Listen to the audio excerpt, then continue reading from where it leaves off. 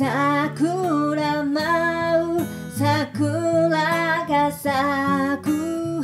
過去は今のために。桜舞う桜が咲く。今日は明日のために。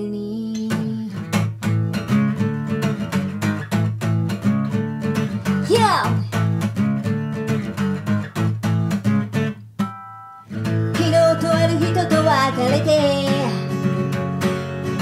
今日あなたに出会った。昨日とある人が旅に出て。今日この子生まれた。ある時泣き崩れてまたある時